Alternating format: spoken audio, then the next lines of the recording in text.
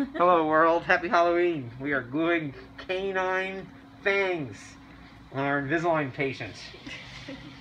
Do not do this at home. We need an orthodontic degree to do this appropriately.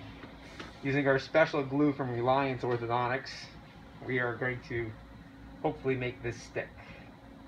So a little glue. Lots of glue. Press our press on nail right in there. Get it just right.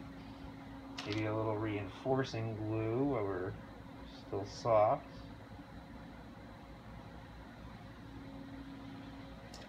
And then our special curing lights to make it really stick.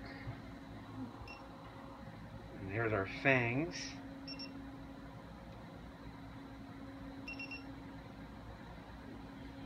Maybe while we're here, we'll reinforce the inside just a little bit.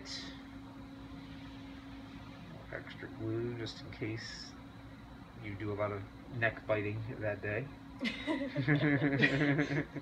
You never know. I don't know if mom's into that. but- Ooh, did you see the smoke coming off of it? I think, I did. I think the press on nail's melting from the curing light. That's cool. Alright, that's it's heat fused. There's our fangs, but it only really looks good when you put it on the patient. Look at that. No loose teeth there. And here we go. Instant vampire fangs with an Invisalign aligner.